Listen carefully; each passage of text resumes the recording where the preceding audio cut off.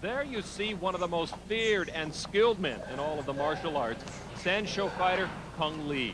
His hands and feet are beyond belief. He will be performing in a demonstration bout in just a few minutes. But earlier, we talked to the master about his fighting style. I try to be clean combos, like uh, set up. Um, I, I, use the boxing to set up the kicks. Um, I, I'm still working on my boxing, um, so it, it, can, you know, improve a lot more. But right now, the hands really set up the kicks, which is my strong point. You've watched. All right, we're ready for a special, what they call exhibition, but you're going to see some full contact action. Sanshou demo, Cung Le and his partner, Alan uh, Marta Villa and uh, I tell you, Superfoot, this could be very interesting, huh? Well, it's very similar to Muay Thai, except they allow throws and takedowns. So you're going to see a lot of leg kicks, a lot of high spinning movements, good, strong uh, boxing techniques, because jabs, crosses, right hands, uppercuts. Same thing that you would see in boxing, along with the Muay Thai leg kicks, the spinning movements, the, the darting in and out, the throws. It's very exciting to, to watch. I tell you, Cung Le is one of the best. And let's go up to ring announcer Danny Valdivia for the official Ladies announcement. This is a Sanshou demonstration I repeat, demonstration featuring Cung Le and Alan Mardavia.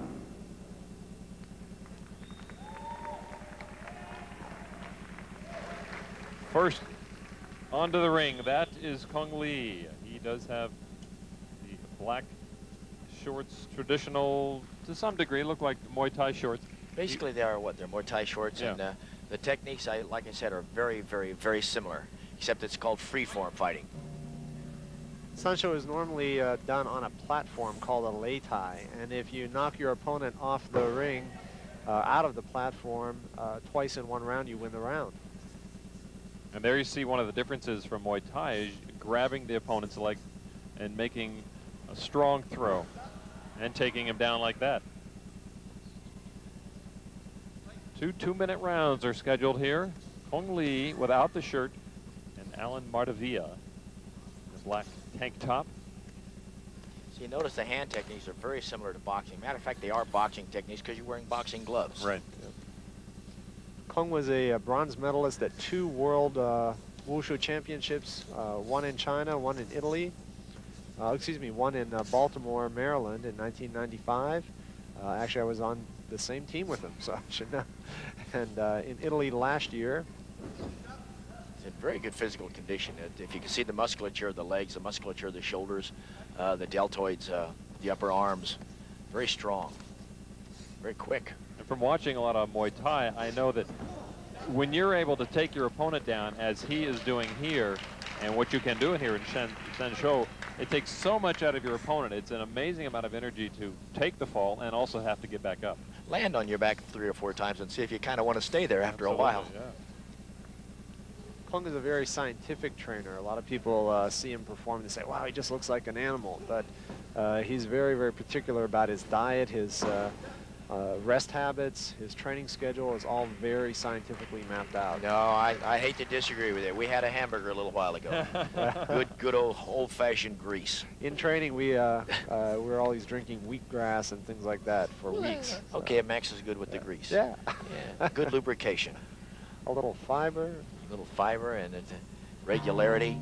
And that is the end of the first two-minute round of the Sanshou demonstration with Cung Le on the right of your screen and Alan Mardavia. And I do see a lot of similarities in uh, what we see American kickboxing.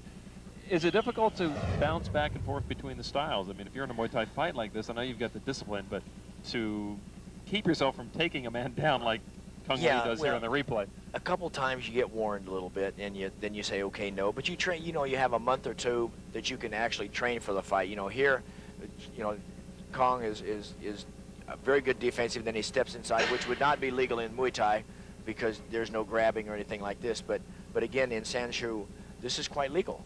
And then you can also uh, some of the techniques you can take him down and then continue going. And you see, but here he's just demonstration. Right.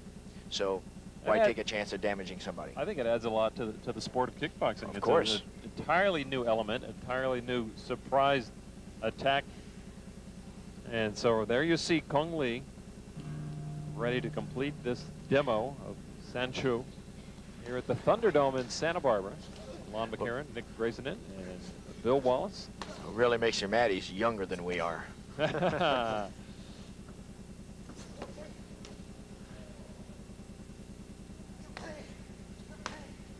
If you notice the leg kicks, they're very strong, very powerful. They're, they're used to weaken your opponent, to weaken his stance, to weaken his movements. And one of the best ways of doing that is very simply to get inside and take him down. Mardavia is certainly showing the pain of that throw. Cung was a collegiate wrestling champion. It certainly uh, has proved to be an advantage in his uh, Sanshou training.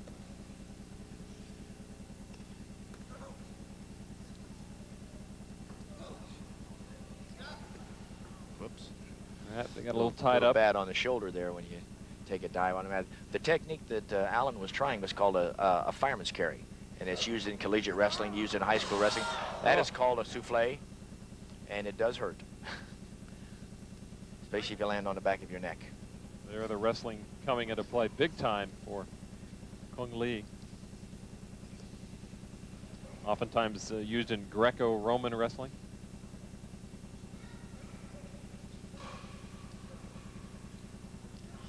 Again, another throw attempt, and Mardavia now is just a sack of tired muscles. Yes. Can we get this over with?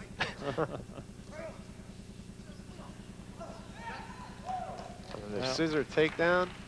I'm sure at one, you know, one part of his mind is a little bit leery of taking the master down, but you've got to defend yourself. So always the thing, you know, a lot of times when you're sparring, you'll say, you know, if somebody's going to get hurt, I'd rather it be you. and then you'll apologize afterwards, you know. Better to ask for forgiveness and permission, Bill. Exactly. You know Thank you very much.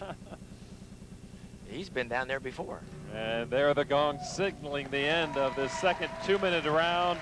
Cung Le and Alan Mardavia Very demonstrating exciting. his Very exciting. Uh, as, as you see, it's very good technique also. It's not just flailing, it's not just wild movements, but it's very good technique. Nice strong movements, nice short crisp punching, nice short crisp kicking. Takedowns are very fluid, very, very innovative, and quick. And a souffle, which uh, takes a lot out of your opponent, and some very surprising moves. There it is.